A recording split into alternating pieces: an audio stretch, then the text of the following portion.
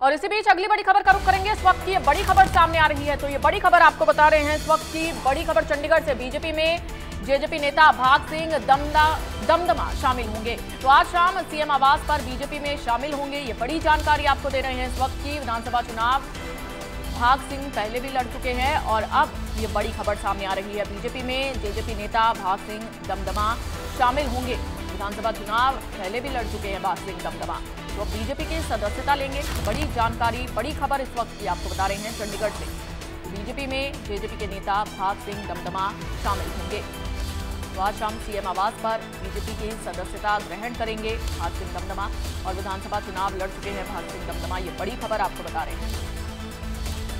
BJP में JJP के नेता भाग सिंह दमदमा शामिल होंगे। विधानसभा चुनाव लड़ चुके हैं भाग सिंह दमदमा, जो आज बीजेपी में शामिल होंगे बीजेपी की सदस्यता ग्रहण करेंगे। चंडीगढ़ से इस वक्त की बड़ी खबर आपको बता रहे हैं। यहाँ पर बीजेपी के नेता भाग सिंह दमदमा बीजेपी में शामिल होंगे और आज शाम सीएम आवास पर बीजेपी की सदस्यता लेंगे।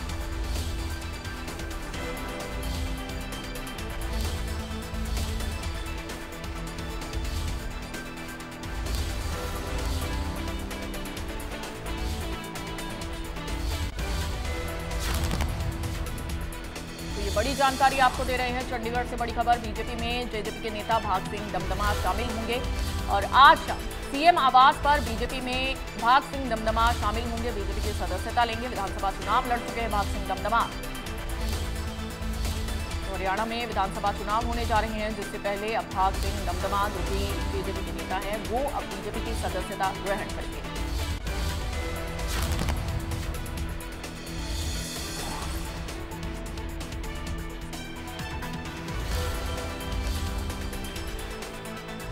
बड़ी खबर चंडीगढ़ से आपको बता रहे हैं, जहाँ पर जेजेपी के नेता भाग सिंह दमदमा बीजेपी में शामिल होंगे। विधानसभा चुनाव, भाग सिंह दमदमा लड़ चुके हैं और ऐसे में आपको बता दें, हरियाणा में विधानसभा चुनाव होने जा रहे हैं, जिससे पहले जेजेपी के नेता भाग सिंह दमदमा अब बीजेपी की सदस्यता लेते नज़र आएँगे।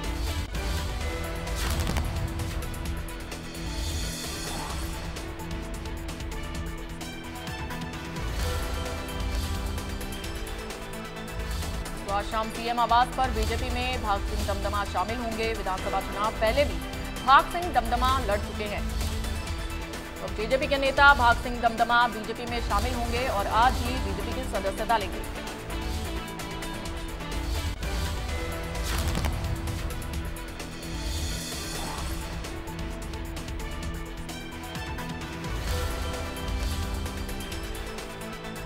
और ज़्यादा जानकारी के साथ एडिटर इन खबर, हरियाणा के विनोद लांबा जी हमारे साथ जुड़ चुके हैं। विनोद जी, किस तरह से देखते हैं हरियाणा में अब विधानसभा चुनाव होने जा रहे हैं और ऐसे में अब जेजेपी नेता भाग सिंह दमदमा बीजेपी में शामिल होंगे?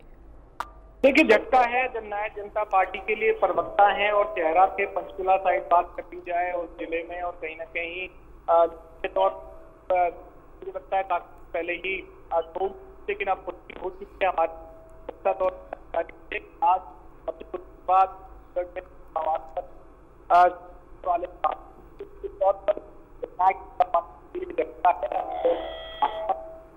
जोड़ है और तमाम जो राजनीतिक दलों से लोग आना चाहते हैं बैठक के हिसाब से अपना फैसला कर रही है। हालाँकि बहुत अच्छा प्रदर्शन नहीं रहा था। आठ हज़ार वोट ही मिली थी। बाल सिंह दत्तवा को प्रवक्ता के तौर पर एक चेहरे के तौर पर झटका है और भाजपा अपनी विनोद जी किस तरह से देखते हैं? अब मुख्य कारण क्या माना जाए? जेजेपी छोड़ने का क्या कारण रहा होगा? देखिए जेजेपी में लगातार जो कहीं ना कहीं लोग हैं जा रहे हैं नेताओं का एक सिलसिला है लंबी लिस्ट है पूरे प्रदेश में। और इसको लेकर पिछले दिनों जब दुष्यंत चौटाला नेटवर्क पे आए तो बात उन्होंने कहा कि अच्छी बात है तमाम लोग जो है चले जाएँ और इस तरह से नई रिफिल्टर हो पार्टी खड़ी करेंगे। ये सब कहने की बात है। फ़िलहाल अगर ओवरऑल देखा जाए तो निश्चित तौर पर ग्राफ का कम हुआ है, विधायकों पर कंट्रोल ही खत्म हुआ है छोड़ने का जो सिलसिला है, वो लगातार जारी है। ये महत्वपूर्ण है जो है, वो जेजेपी को लगातार लग रहे चलिए, बहुत शुक्रिया आपका विनोद जी जानकारी के लिए।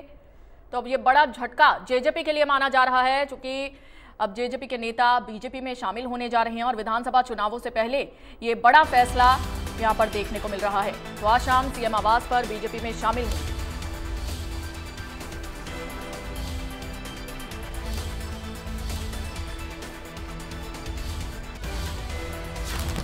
अगली खबर का रुख करते हैं। एनएचएम कर्मचारियों की हड़ताल का दसवां दिन है और मांगों को लेकर लगातार एनएचएम के कर्मचारी धरना दे रहे हैं। कर्मचारियों ने वादा खिलाफी का आरोप सरकार पर लगाया है। एनएचएम के कर्मचारियों ने सरकार को चेतावनी दी है कि मांगे पूरी नहीं की तो